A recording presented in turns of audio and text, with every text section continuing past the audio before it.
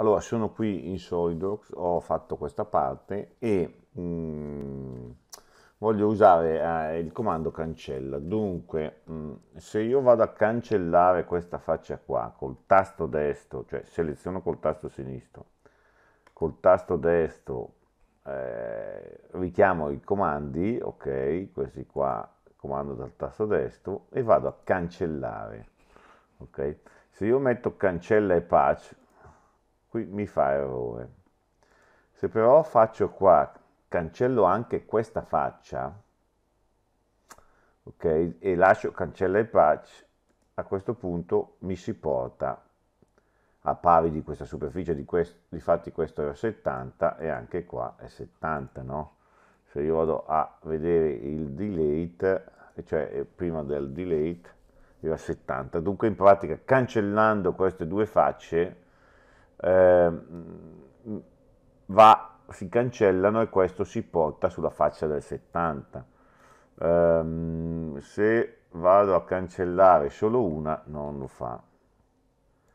Ok, se vado a cancellare questa mi crea problemi e se vado a cancellare solo questa non lo fa.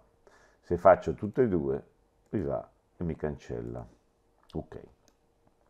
Adesso ipotizziamo che sono su un tondo, eh, su un tondo come questo col forato non voglio avere più il forato, vabbè, classico, eh, vado in estrusione, riempio, rifaccio, così via, però potrei fare anche con una modifica diretta, andare semplicemente qua, cancella faccia, cancella e patch e riempi, a questo punto mi si riempie la foratura, la foratura viene eliminata.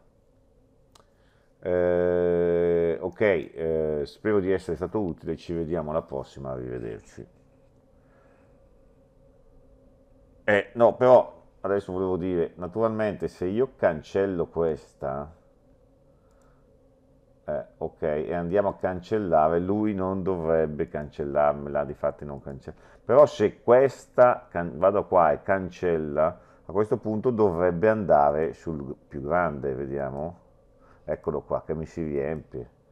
Dunque, eh, questo era 100 e a questo punto viene annullata questa e diventa un po' più in tondo tutto pieno. Vabbè, eh, spero di essere stato utile, ci vediamo alla prossima, arrivederci.